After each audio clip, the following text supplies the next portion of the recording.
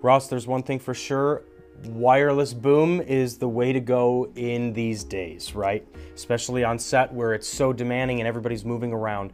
And Shure has an amazing wireless option for this called the AD3. Let's check it out.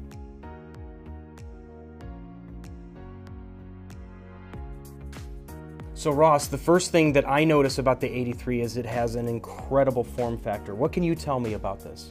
So the AD3 is part of our Axient Digital series of transmitters.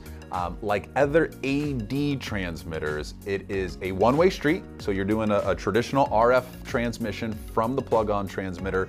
It is a wideband transmitter, like all Axient digital transmitters. You've got 470 to 616, the full remaining bandwidth within the UHF band.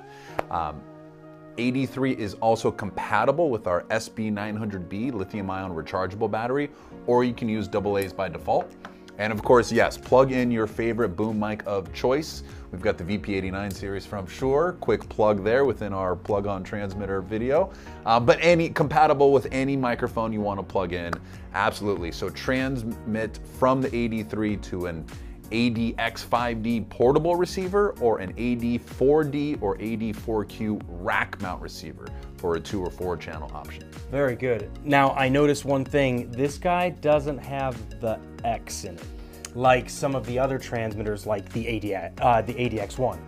Yes, so very important distinction. Um, AD and ADX are all transmitters within the Axient digital family. They're all part of the family. Everybody's part of the family. Cool. Yes. Um, ADX transmitters can be remotely controlled. They are what we call ShowLink enabled or ShowLink capable is another way you'll see it described. That means I can do a 2.4 transmission from the AD610 ShowLink access point back to an ADX transmitter for the purpose of controlling all settings on the ADX transmitter.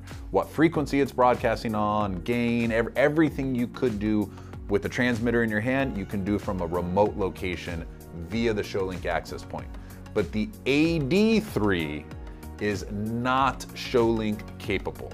So just be aware if you're using ADX1 or ADX1M body pack transmitters and you've been enjoying remotely controlling them, an AD3 is not ShowLink enabled. But you know what, that's not necessarily a deal killer for me because if you think about it, you're putting your ADX ones on your talent. You're putting them underneath their clothes, putting them wherever it needs to go, and then you're kind of setting them off where the boom operator or the utility is the one using this. So they generally have a little bit more quicker access to it where if they needed to change something, maybe you can't necessarily change it on the fly during the middle of a take, but you can do it in between takes. So again, you know, X is amazing and the ability to control everything is phenomenal, but it's not, like I said, a deal killer. You can still use this and be able to, you know, make your finite adjustments you know, in between and, takes. And that's the workflow we've been seeing is if I've got an ADX 5D portable receiver in my bag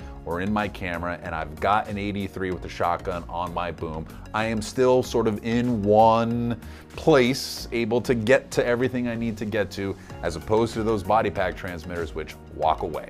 Well, everyone, take a look at the AD3 inside of Trew Audio today.